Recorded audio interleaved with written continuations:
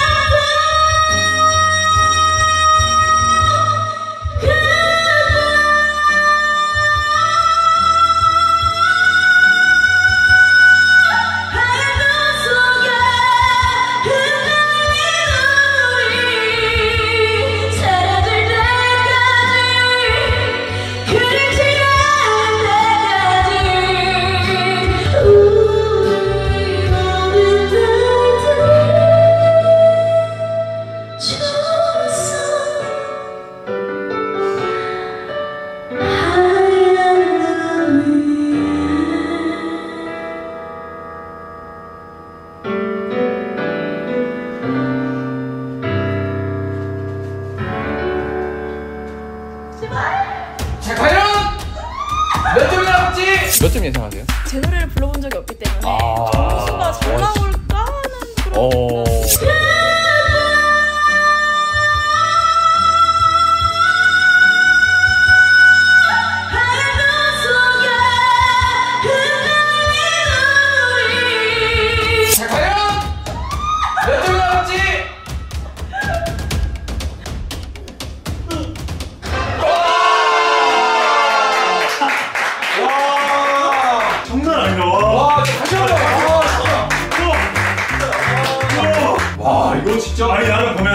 이게 진짜 뽀초초 콘서트를 우리가 즐기는 거야. 와, 와. 콘서트 안 하세요? 아 너무 하고 싶은데 코로나 때문에. 코로나 때문에. 와, 나 진짜. 씨. 저희 제일 끝열로 갈게요. 와. 제일 끝열에서 소리 칠게요. 와, 진짜. 어, 다행이네요 집에 안 남기면 어떡하나 어, 야, 이거 일단은 우리 혜원 씨는 이제 91점이 나왔는데 네. 제가 봤을 때 기계가 이제 문제가 있다. 잘못했네. 네. 야, 이걸 어떻게 91점을 야. 방금 이 순간을 우리가 함께 했잖아. 이것만으로도 우리 컨텐츠 망했대. 아, 이 정도로. 아니 컨텐츠 잘 돼. 아, 그냥 잘. 아, 죄송합니다. 죄송합니다. 콘텐츠. 야, 진짜 아, 다시 한번 우리 혜원 씨. 혜원 씨는 91점이었습니다.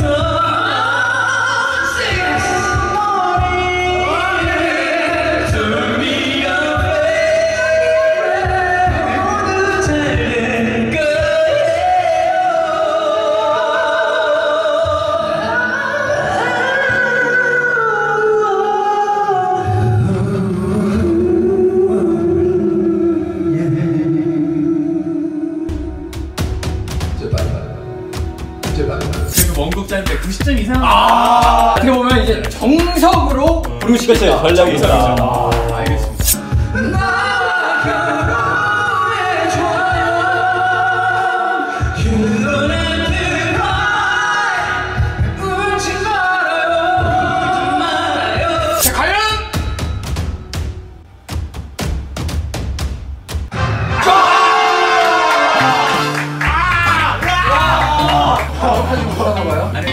사실 데뷔 임박이 되잖아요.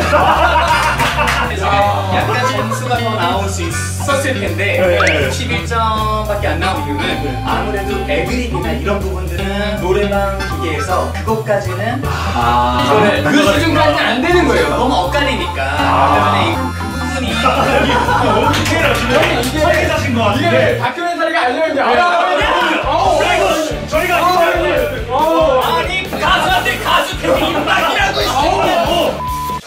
마음속에는 오늘의 곡, 아, 진짜 듣는데. 소름 돋았어. 야 이거 정말 소름이었거든요. 그러니까. 다시 한번 저 영상에 나와주셔서 정말 감사드리고 저희 마음속에 100점 우리 노을 형님께 다시 한번 고맙습니다.